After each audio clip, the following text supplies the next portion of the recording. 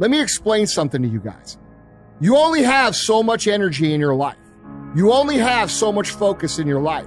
You only have so much ability in your life to choose what you're going to do and what you're going to be and what your identity and your self image is going to be. And when you choose to be one of these victims who thinks there's an Olympics out there for the saddest motherfucking story, that means you have no room to move forward.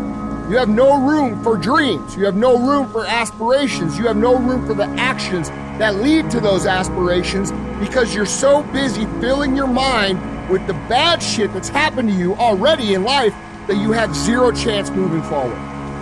Explain how that makes sense. Okay, we live in a backwards culture where victim mentality is celebrated, but that shit will eventually keep you from getting the life that you actually want. That's the shit that's going to keep you from moving forward, to keep you from focusing on what you could be rather than what's actually happened to you in the past. You get one or the other. You can look forward or you can look backwards, but you can't look both ways at the same motherfucking time. And so many of you guys have got enamored and sucked into this victim culture where we brag about the bad shit that's happened to us and we talk about all this help we need over here and how flawed we are. Motherfucker, we're all flawed. You don't think every motherfucker out there has a sad story of some sort? Everybody has hard shit they gotta go through. There's not a single motherfucking successful person on this planet that hasn't gone through their version of really fucking hard shit. So what's it gonna be, man? Are you gonna sit there for the rest of your fucking life and talk about all the hard shit that's happened? Because, motherfucker, I got a list a mile long. Learn what you need to learn from the things that have happened to you and move the fuck on.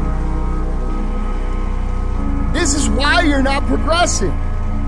You're so enamored by the instant gratification of likes and shares and attention that you get for telling your sad story. And that doesn't leave any room for you to actually plan out, visualize, think about the great shit in life that you could be creating because you're too busy worried and focused on shit that you can't change.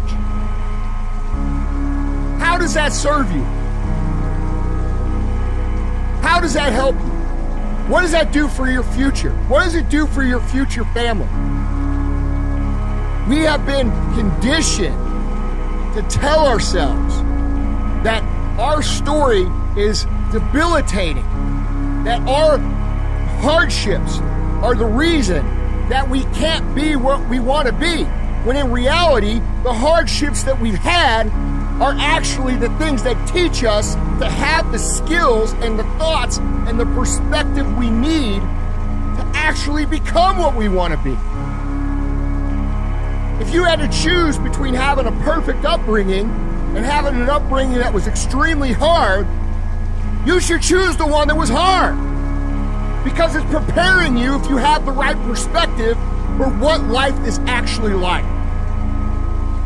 So instead of spending all your time telling yourself this fucking story of how you can't move forward because you're this and this and this and this, you are selling yourself into victimhood. You are costing yourself your entire potential. I've been through some shit. Okay? All of those things, every single one of them, served me in some way. It taught me something, something that I use every single day. Once you flip your perspective from being a fucking victim to being someone who overcomes shit, now you start to understand why it's so fucking aggravating.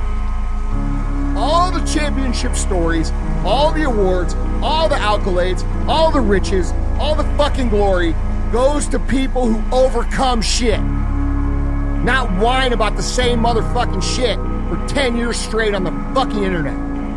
You will never get where you want to go playing the victim.